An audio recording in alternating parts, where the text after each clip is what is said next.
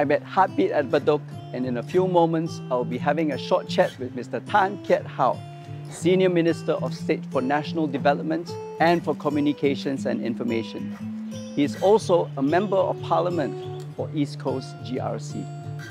Hello, He is going to tell me more about the Bedok Hub and what it has to offer to the community.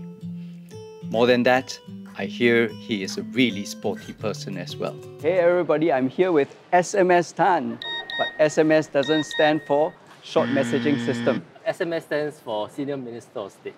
Just call me Kiat How, it's fine. Okay, Kiat How. Okay, uh, could you tell us a bit more about yourself and your history in Bedok and uh, East Coast GRC?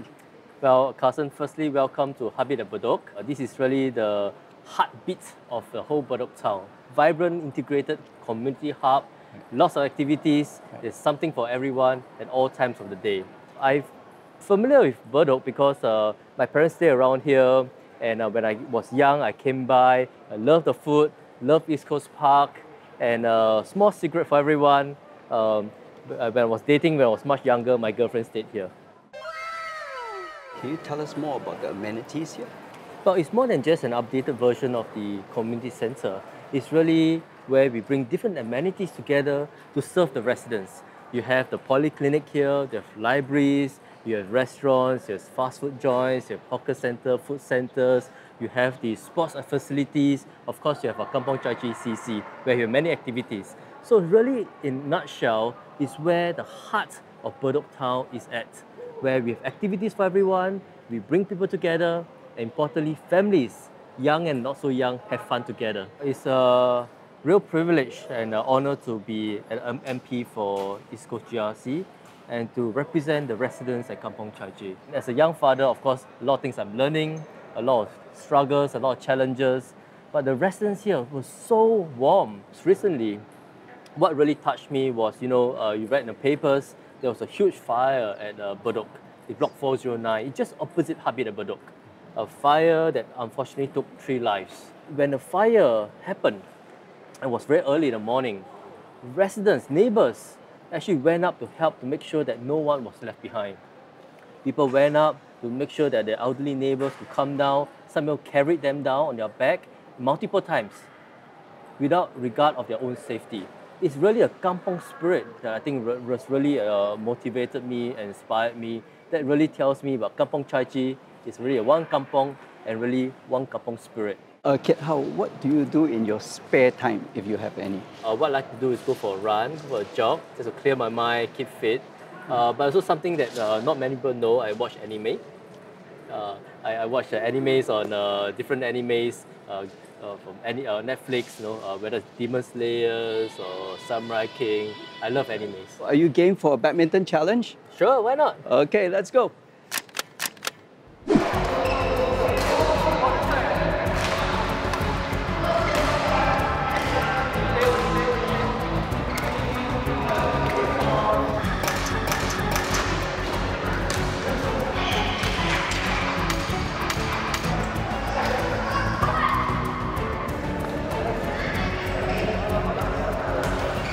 When was the last time you played badminton? Actually, uh, not too long ago, but I recently picked it up since I haven't played for many, many years, since school days. Right. Uh, recently, I picked up a little bit. uh, Right, But uh, right. it was a good game today. You played Yeah. very well. Luckily, we're not playing with the kids. Yes, The that's kids right. here are really good. Yes, correct. I think we'll Yeah. be beaten hands, uh, hands down by Yeah. them.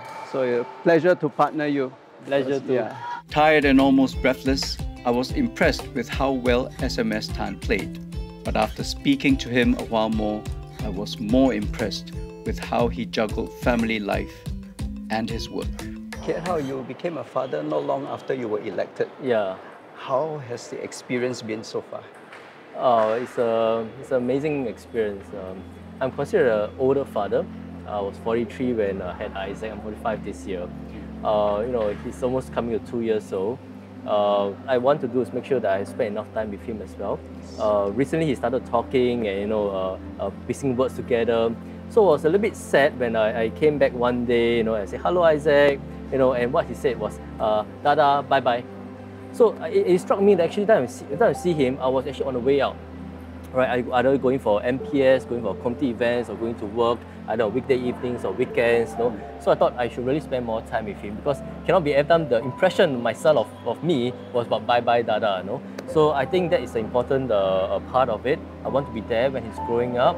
At the same time, making sure there's enough time to spend with him. And now that you're promoted, what are your hopes and aspirations for Singapore? So my aspiration for Singapore hasn't changed. Be inclusive, to be a nation where we care for one another, right?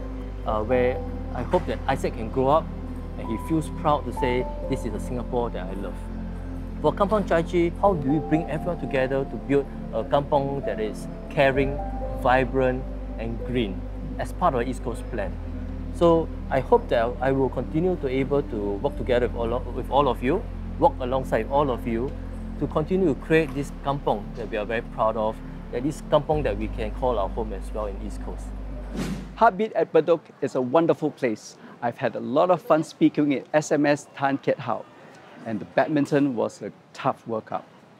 My City Joes and I have had a great time exploring all the interesting features and programs here. Truly, you can feel the pulse of the vibrant community here.